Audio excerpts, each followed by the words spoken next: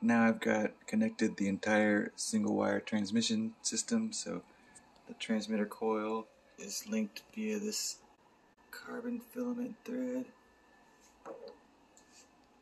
to the bottom of the receiver coil tuning capacitors, little rectifier, those Schottky diodes goes into charge the supercapacitors.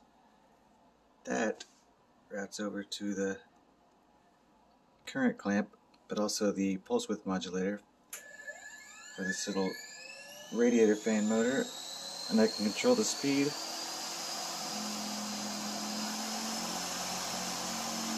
So eventually the test will be to keep voltage and the current steady over here.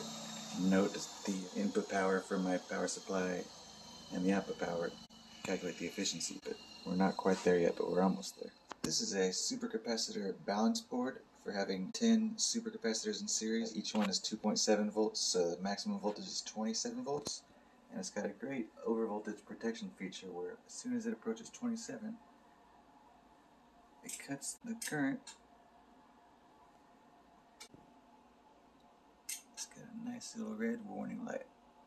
Maximum voltage, no more. And it won't let it go any higher. Thank you, supercapacitor balance board.